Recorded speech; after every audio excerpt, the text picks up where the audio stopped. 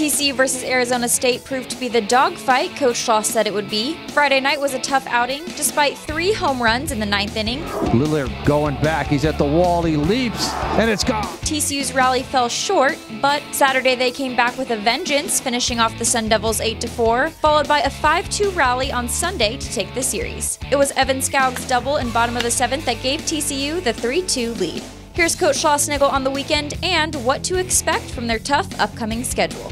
We're certainly not playing our best baseball, but you know it's always good to win when you're you know you're not playing your absolute best, and and uh, so we'll take it, especially after Friday night. You got to tip your cap to Arizona State. They got their doors blown in on uh, Tuesday night against Oklahoma State.